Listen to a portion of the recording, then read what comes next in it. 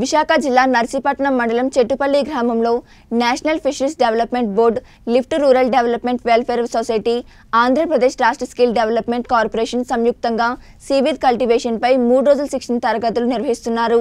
ఈ సందర్భంగా APSSDC Visakhapatnam coordinator Srinivas మాట్లాడుతూ చెట్టుపల్లి గ్రామంలో మూడు రోజుల శిక్షణ కార్యక్రమం నిర్వహిస్తున్నట్లు తెలిపారు. ఈ తరగతుల్లో ఫిషరీస్ పై అవగాహన కల్పించడం జరుగుతుందన్నారు. ముఖ్యంగా ఉపాధి కల్పన చేపల పెంపకం వాటిని మార్కెటింగ్ చేయడంపై శిక్షణ ఇవ్వడం జరుగుతుందన్నారు.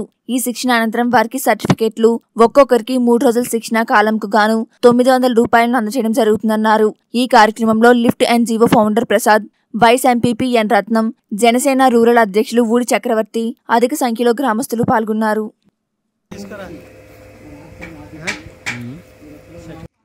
సుధాకర్ గారికి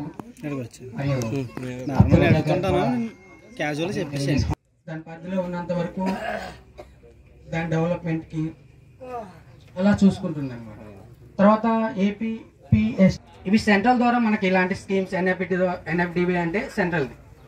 దాని ద్వారా కొన్ని ఫండింగ్ డెవలప్మెంట్ అండి. అంటే ఆంధ్రప్రదేశ్ రాష్ట్ర నైపుణ్యాభివృద్ధి సంస్థ.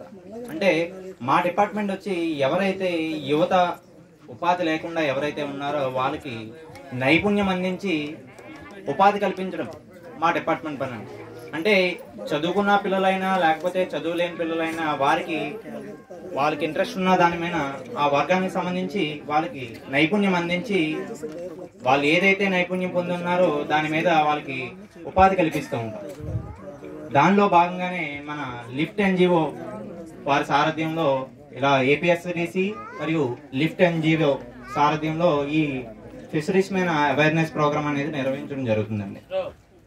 ఇలానే ముందుకు కూడా మన లిఫ్ట్ ఎన్జిఓ సారథ్యంలో అవేర్నెస్ ప్రోగ్రాంలన్నీ కూడా నిర్వహించడం జరుగుతుంది. దాంట్లో మీ పిల్లలు కానీ మీరు కానీ పార్టిసిపేట్ చేసి ఈ ప్రోగ్రామ్స్ అన్నింటినీ కూడా దిగ్విజయం చేయవలసిందిగా కోరుతున్నాం.